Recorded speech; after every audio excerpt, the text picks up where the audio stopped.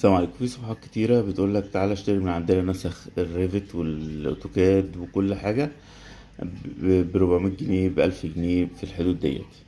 فأنت تسأل إحنا عارفين إن الأسعار بالدولار وحاجات أرقام ضخمة جدا. إيه إيه اللي حصل؟ إيه اللي, إيه اللي, إيه اللي جرى؟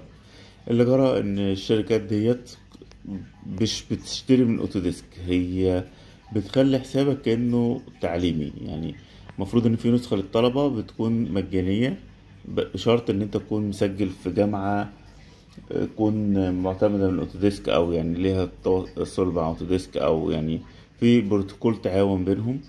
وده كتير يعني الموضوع سهل اوتوديسك بتسعى لكده وما عندهاش مشاكل. فبتلاقي الأمور ميسرة. وأغلب شركات ال software كده على فكرة يعني لو أنت عندك إيميل جامعي هتلاقي إن أغلب شركات ال software عندها استعداد إنها تديك نسخة تجريبية لمدة سنة سنتين لحد ما تخلص الدراسة. ما عندهمش أي مشكلة في كده. لكن الفكرة دي إن أنت اشتريت ده ما فيكش مسؤولية يعني أنت شغال في شركة ضخمة كبيرة والمصنفات هجموا فالورقة دي ملهاش أي معنى خالص غير إن أنت عامل crack. crack معناها كسرت حماية. ال education ده يعتبر كسر حماية شغلت الحاجة عندك بس بطريقة غير قانونية. فده لا يعفيك من المسؤولية خالص. لو أنت شغال فرد في البيت أو مع أصحابك على حاجة صغيرة المواصفات ما بتهتمش بالقصص ديت. يعني لو اتنين تلاتة لسه فاتحين غرفة صغيرة ولا حد يقرب منك غير لو حد اشتكى أو حد يعني متضايق منك. إنما المفروض المصنفات بتركز على المكاتب الكبيرة. مكتب في مثلا خمسين واحد مية واحد هو ده اللي يسهل إن الراجل بتاع المصنفات يروح.